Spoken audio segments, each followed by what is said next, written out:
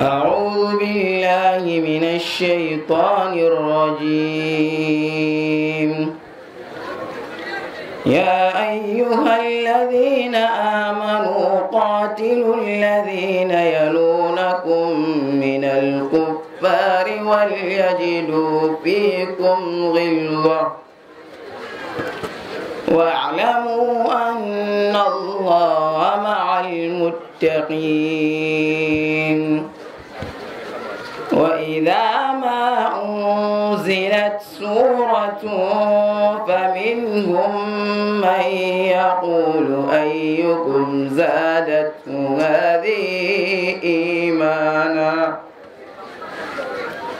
فأما الذين آمنوا فزادتهم إيمانا وهم يستبشرون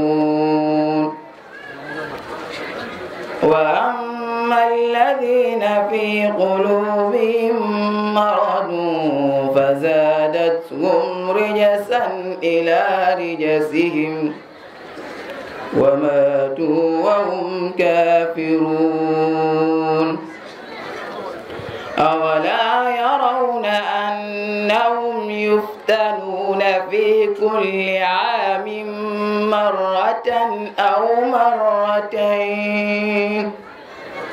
ثم لا يتوبون ولا هم يذكرون.